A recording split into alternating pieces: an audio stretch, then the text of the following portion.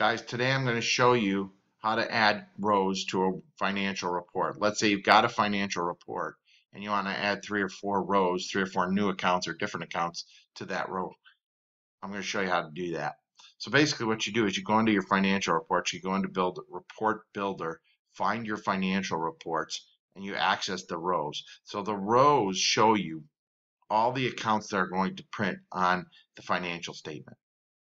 Okay, so right here I've got a 1007 account um, and a 1102 account. Let's say I wanted to add the plain 1000 account. One way of doing it is I could click on the GLCOA button, which brings up the chart of accounts, and it allows me to drag accounts into my report. So I can basically take this 1000 account, drag it to the bottom of the report, and then intersperse it wherever I want.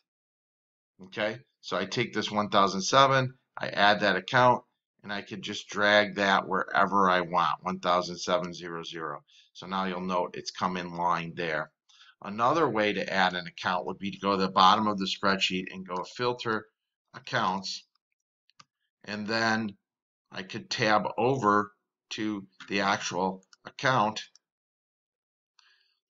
and here's where I could select for my filter all the accounts that I want to put into this specific row. And click apply and that'll bring the account over and now it'll be in the report and I can drag it wherever I want it. Okay. All right, now one thing you might say is that's cool, but I want to add a range of accounts. So if you wanted to add 20 accounts in a row and never miss accounts in between those 20 if you if you uh, added new accounts, I'm going to show you how to do that. So again, you go to the filter accounts, you go over to your filter,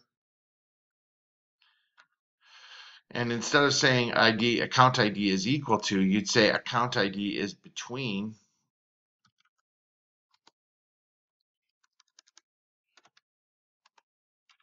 ID is between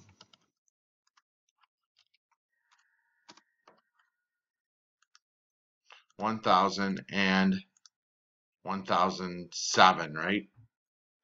And then you could save that. Now that's going to print on the report all the um, all the rows between 1000 and 1007 in that row. And here's a little trick over here. If you click print each, it will break them off each into their own row instead of aggregating them into one row, right? So if you click this print each over here, that's going to take those accounts and spit them out in individual rows. Cool?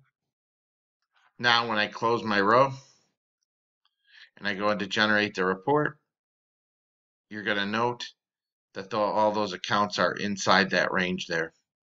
So just uh, I just want to show you a quick and easy way um, to add accounts into a report two ways. Thanks. Have a good day. Bye.